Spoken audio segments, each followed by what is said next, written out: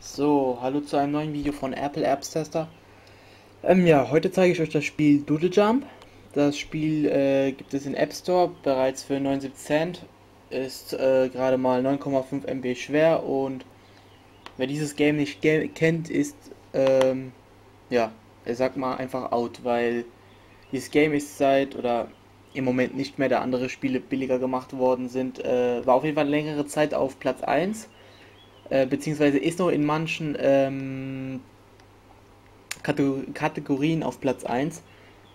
Und ja, im Moment allgemein ist jetzt SimCity auf Platz 1, da es ja gesenkt wurde auf 79 Cent. Mm, gut. Doodle Jump, ich denke mal, das, das Game kennt jeder. Da, da steht auch Doodle Jump, Achtung, höchste Ansteckungsgefahr. Ähm, ich war davon früher nie überzeugt, habe es mir mal dann einfach gekauft, weil ich es beim Kumpel ein bisschen gespielt habe und es gar nicht so schlecht fand. Wie gesagt, also bei mir ist es immer so mit dieser Tilt-Steuerung, ich bin da nicht so ein Fan von, weil ja, aber bei Doodle Jump ist es ein bisschen anders, also da gefällt mir die Tilt-Steuerung. In den meisten Games sind ja die Tilt-Steuerung immer so total mies gemacht, finde ich jetzt. So, ähm, ja, zuerst zeige ich euch mal das Menü. Hier sehen wir es, Play, Challenge, Score and States und Options. Erstmal Optionen. Hier sehen wir jetzt Game Mode, Full oder Classic. Äh, Classic ist ohne, ohne ähm, Jetpack, ohne Gegner, ohne solch, sonst irgendwelche Viecher.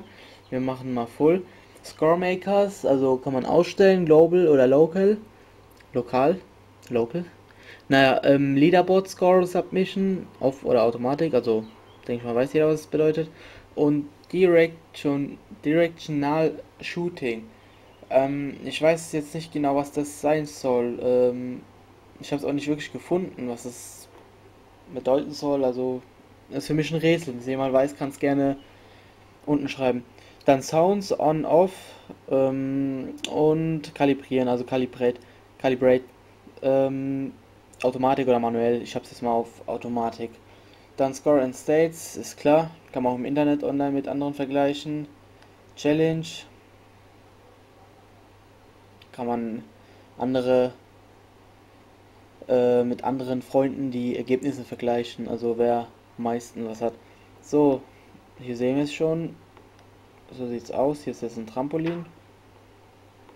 Man muss ganz einfach immer auf diese grünen Plattformen springen und einfach so hoch springen, also so so weit kommen, wie man nur kann.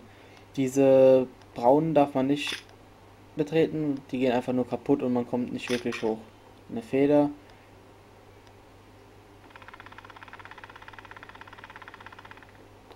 Ist auf jeden Fall eine nette Idee und ähm, vorher gab es natürlich auch schon einige Ga Games, die vor Doodle Jump rauskamen, die ein gleiches Spielprinzip haben, aber Doodle Jump hat bisher wirklich, jetzt halt runter, Doodle Jump finde ich hat bisher ähm, wirklich mehr draus gemacht. Einfach von der Optik her schöner, von der Steuerung her, von der Tiltsteuerung her präziser und ich finde es einfach schön, um ehrlich zu sein. Also es ist richtig gut gemacht.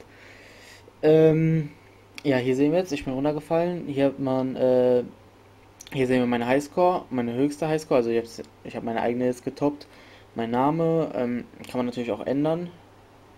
Aber ich lasse mal jetzt bei ATT für Apple Apps Tester. Ähm, Play Again, Menü und in Facebook oder Twitter kann man natürlich seine Ergebnisse, ähm, also seine Highscore mitteilen und mit anderen messen, die es auch noch zocken. So, ich hatte mal Doodle Jump schon mal drauf gehabt, aber dann habe ich es wieder weggemacht, weil ich es länger nicht mehr gespielt habe.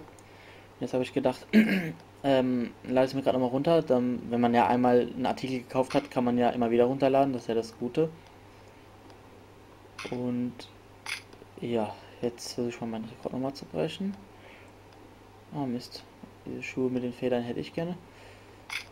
Natürlich wird es immer schwerer, je weiter man nach oben kommt. Jetzt habe ich meinen eigenen vorherigen Rekord gebrochen.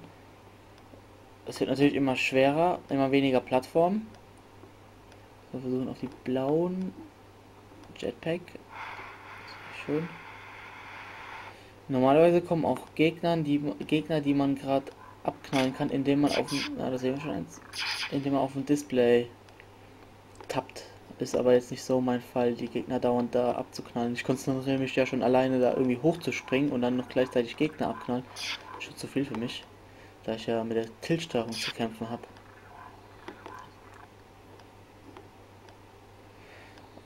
Wie immer ist meine Kamera unscharf, was mich tierisch ankotzt. Ich habe jetzt gerade wieder eine Stunde lang im Internet nachgeschaut, ob jemand das gleiche Problem hat wie ich, aber entweder bin ich irgendwie der Einzige auf Erden, der die Kamera besitzt, oder keine Ahnung, hey. Ich muss echt zu... Ich muss echt... Oh Mist.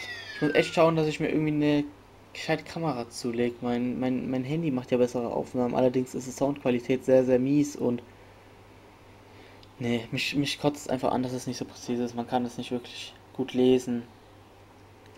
Ich werde nochmal schauen, was sich da machen lässt und ja. So, das ist äh, Doodle Jump. Wer mehr Punkte hat wie ich, kann es gerne unten hinschreiben. Ihr könnt generell eure äh, Highscore unten mal hinschreiben. Würde mich mal interessieren, was ihr so schafft. Ich finde schon, die 15.000, die ich fast geknackt habe, ist nicht ohne, muss ich mich ja schon konzentrieren. Und ja. Das ist ein tolles Game für 79 Cent. Schöne Grafik, lohnt sich, macht auf jeden Fall Spaß. Ich denke mal, nicht für immer, aber so zwischendurch ist auf jeden Fall super, da ich eh so eher der Fan bin von kurzen Spielen. Also iPod raus, App aussuchen, antippen und los geht's. Ähm, ja. Däumchen hoch. Ups. Däumchen hoch und ähm, ihr könnt gerne noch meine anderen Videos anschauen und ja, viel Spaß damit. Dankeschön. Tschüss.